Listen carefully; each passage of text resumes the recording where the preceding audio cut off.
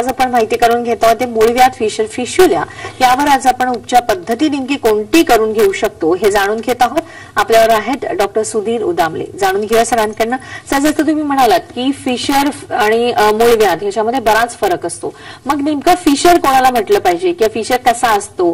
किंवा त्याचे काही वेगवेगळे प्रकार असतात का? आपण कसे ओळखायचे असतात? राईट सी कसं आहे फिशर म्हणजे एखादा रुग्ण जेव्हा धावत धावत डॉक्टरांकडे जातो ना खूप दुखतंय खूप ब्लिडिंग होत आहे आणि खूप जळजळ आगाग होते ही जी अत्यायिक अवस्था असते ती बऱ्याच वेळा फिशरमध्ये असते. अच्छा. फिशर म्हणजे काय त्या ठिकाणी ती जागा फाटणे. आणि एखाद्या ठिकाणी चीर पडून कापल्यासारखं किंवा कातरल्यासारखं वाटणं खूप जळजळ आगाग होणं हे फिशरचं लक्षण आहे. आता बघा कसं आहे फिशरमध्ये सुद्धा ब्लिडिंग असतं दुखणंही असतं. आणि जेव्हा फिशर नवीन अवस्थेत असतो त्यावेळेस ते प्रचंड पेन असतं. जखम झाल्यामुळे काय होतं गुदद्वाराची जी रिंग आहे ती टाईट होते. ती आकुंचन पावते. आणि त्याच्यामुळे छोट्याशा दरवाजातून मोठ्या माणसाला जसं ढकलावं ना तसं तो मळ बाहेर येताना खूप सारी जागा घासून येतं. आणि त्यावेळेस ते दुखणं आणि जळजळ प्रचंड असते. जेवढी गुरुद्वाराची रिंग ही आवळली जाते तेवढं जास्त दुखणं त्या पेशंटला असतं.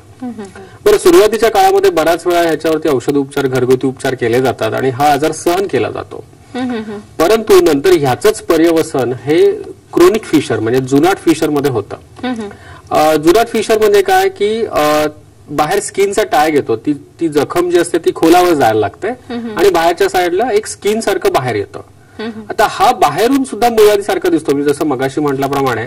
हा दिसायला मुळवादी सारखा दिसतो पण बऱ्याच वेळा फिशर फिशर असू शकतं. ह्याच्या आतमध्ये जखम असते.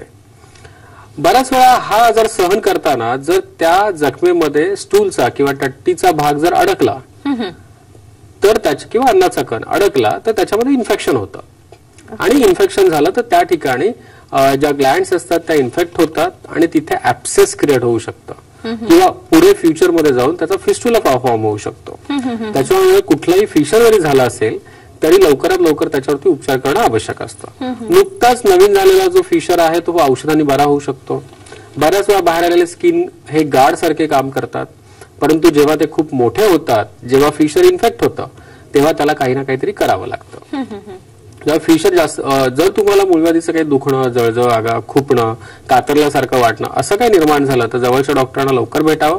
बऱ्याच वेळा हे छोट्याशा उपचारांनी हा आजार बरा करता येऊ शकतो.